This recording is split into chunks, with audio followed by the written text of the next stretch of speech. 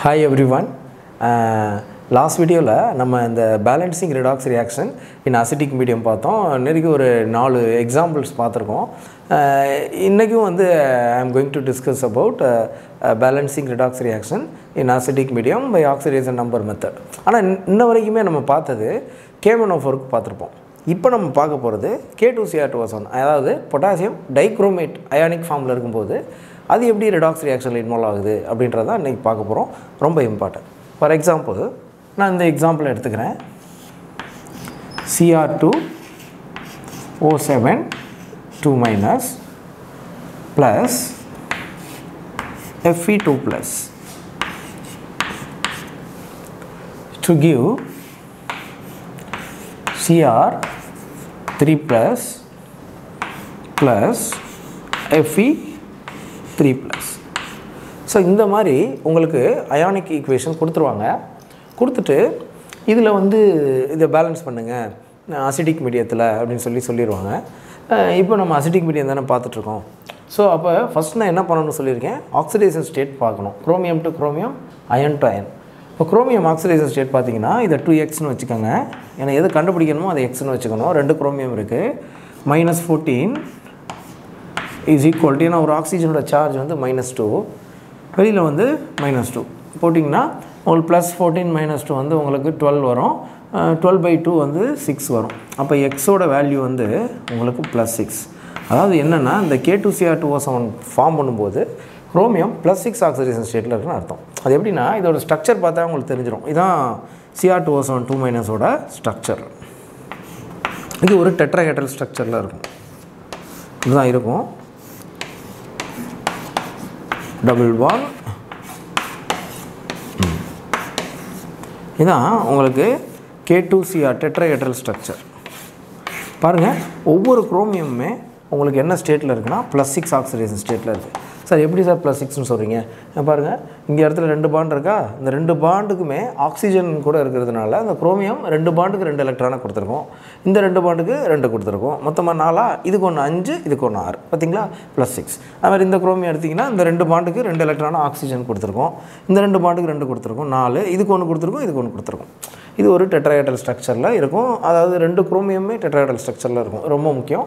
So இது plus six oxidation ஸ்டேட்டில் இருக்கும். இந்த அயன் ஆல்ரெடி நம்ம கொடுத்துருக்காங்க ப்ளஸ் டூ ஆல்ரெடி கொடுத்துட்டாங்க எக்ஸ் இஸ் ஈக்குவல்ட்டுக்கு வெளியில் ப்ளஸ் டூ இந்த குரோமியம் ஆல்ரெடி ப்ளஸ் த்ரீ இந்த அயன் வந்து ப்ளஸ் த்ரீ அப்போ ரொம்ப முக்கியமாக கவனிக்க வேண்டிய விஷயம் ப்ளஸ் சிக்ஸு நமக்கு என்ன மாறி இருக்குது அப்படின்னா ப்ளஸ் த்ரீயாக மாறி இருக்குது அப்போ ஆக்சிடேஷன் ஸ்டேட் என்ன இருக்குது டிக்ரீஸ் ஆகிருக்கு அப்போ ஆக்சிடேஷன் ஸ்டேட் டிக்ரீஸ் ஆனால் அதுக்கு பேர் நம்ம என்ன சொல்லுவோம்? ரிடக்ஷன் சொல்லுவோம். அப்போ இதில் குரோமியம் ரெடியூஸ் ஆகிருக்கு அப்படின்னு அர்த்தம். ஏன்னா ஆக்சிடேஷன் ஸ்டேட் டிக்ரீஸ் ஆகிருக்கு அதாவது கெயின் ஆஃப் எலக்ட்ரான் சொல்லலாம். சரிங்களா? இப்போ இங்கே அயன் ப்ளஸ் டூவில் இருக்க அயன் இங்கே என்ன மாறி இருக்குது ப்ளஸ் த்ரீயாக மாறி இருக்குது அப்போ ஆக்சிடேஷன் ஸ்டேட் என்ன இருக்குது இன்க்ரீஸ் ஆகிருக்கு அதுதான் நம்ம லாஸ் ஆஃப் எலக்ட்ரான் சொல்லலாம். அதை வந்து நம்ம என்னென்னு சொல்லலாம்? ஆக்சிடேஷன் சொல்லலாம். சரியா? ஸ்டார்டிங்லேருந்து இதான் நம்ம பார்த்துட்டு வரோம். ஓகேவா ஓகே குட் இப்போ இதில் பாருங்கள் ப்ளஸ் சிக்ஸ் ப்ளஸ் த்ரீயாக மாறி இருக்கு. அப்போ எவ்வளோ எலக்ட்ரான் கெயினாக இருக்க முடியும்? ப்ளஸ் சிக்ஸாக இருந்து ப்ளஸ் த்ரீயாக மாறி இருக்குன்னா ஒரு எலக்ட்ரான் வாங்கும்போது ப்ளஸ் ஃபைவாக மாறும். ரெண்டாவது எலக்ட்ரான் வாங்கும்போது ப்ளஸ் ஃபோராக மாறும். மூணாவது எலக்ட்ரான் வாங்கும்போது தான் ப்ளஸ் த்ரீயாக மாறும். அப்போ மூணு எலக்ட்ரான் கெயின் பட் இங்கே நோட் பண்ண வேண்டிய பாயிண்ட் ரொம்ப ரொம்ப முக்கியம்.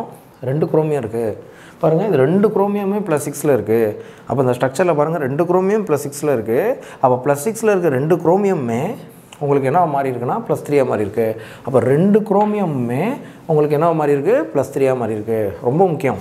ரெண்டு குரோமியம் இருக்குது அப்போ ஒரு குரோமியம் வந்து ப்ளஸ் த்ரீயாக மாறுறதுக்கு மூணு எலக்ட்ரான் கெயின் பண்ணுது. அப்போ ரெண்டு குரோமியம் இருக்குன்னா எத்தனை எலக்ட்ரான் கெயின் ஆறு எலக்ட்ரான் கெயின் அப்போ ஓவராலாக கெயினான எலக்ட்ரான் ஆறு. மூணு கிடையாது. அக்கார்டிங் டு சேஞ்ச் இந்த ஆக்சிஜன் ஸ்டேட் மூணு தான் இப்போ கெயின் ஆனால் இருக்கிறது ரெண்டு குரோமியம். இதுக்கு முன்னாடி பார்த்த எக்ஸாம்பிளெல்லாம் இப்போ மேங்கனீஸ்லாம் ஒன்று தான் இருக்கும்.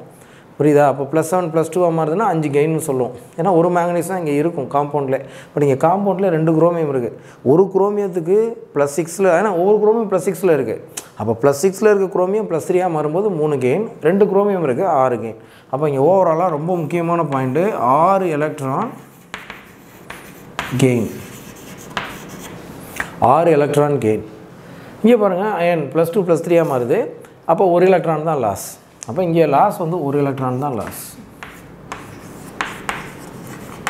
ஒரு எலக்ட்ரான் லாஸ் அப்போ இங்கே ஆறு எலக்ட்ரான் கெயின் அங்கே வந்து ஒரு எலக்ட்ரான் லாஸ் இங்கே பாருங்கள் ஆறு எலக்ட்ரான் கெயின்னா அங்கே எவ்வளோ லாஸ் இருக்க முடியும்? ஆறு தானே லாஸ் இருக்க முடியும்? தானே கா கான்செப்ட்டு இப்போ ஆறு கெயின்னா இங்கே ஆறு லாஸ் இருக்கணும். ம், ரெண்டு குரோமியத்துக்கு ஆறு கெயின் பட் இங்கே ஒரு அயனுக்கு ஒன்று லாஸ் அப்போ எத்தனை அயனுக்கு ஆறு லாஸ் இருக்க முடியும்?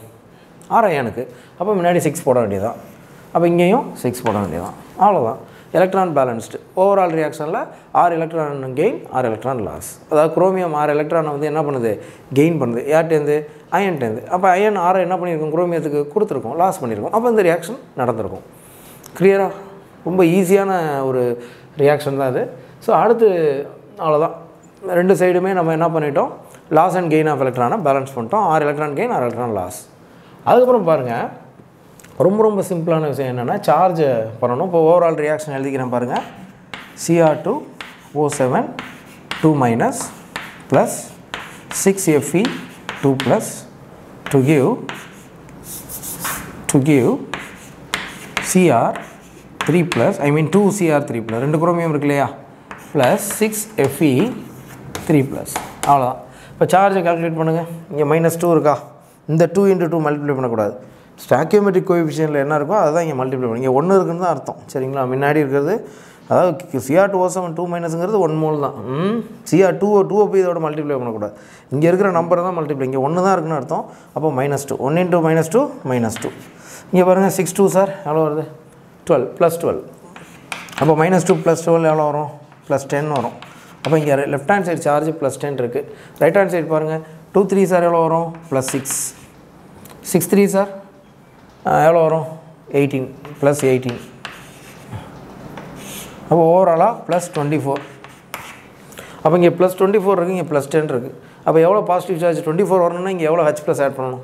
லெஃப்ட் ஹேண்ட் சைடு ரொம்ப சிம்பிள் அப்போ how many H plus need to take a left hand side for balancing twenty four அப்போ ஃபோர்டீன் ஹெச் ப்ளஸ் தேவைப்படும். அவ்வளோதான் ஃபோர்டீன் ஹச் ப்ளஸ் ஃபோர்டீன் அதாவது ப்ளஸ் ஃபோர்டீன் ஹச் ப்ளஸ் இப்போ charge பாருங்கள் இங்கேயும் plus fourteen add பண்ணிங்கன்னா இங்கேயும் டுவெண்ட்டி ஃபோர் வந்துடும் அங்கே ஆல்ரெடி டுவெண்ட்டி ஃபோர் இருக்குது அடுத்து என்ன பண்ணணும்? வாட்டர் ஆட் பண்ணணும். For balancing hydrogen and oxygen எவ்வளோ ஹைட்ரஜன் இருக்குது பதினாலு ஹைட்ரஜன் அப்போ ஒன் மோல் வாட்டரில் ரெண்டு ஹைட்ரஜன் இருக்கும். அப்போ ஏழு வாட்டரில் பதினாலு ஹைட்ரஜன் இருக்கும். Seven H two so இதான்ப்பா final equation it's a balanced equation in acidic medium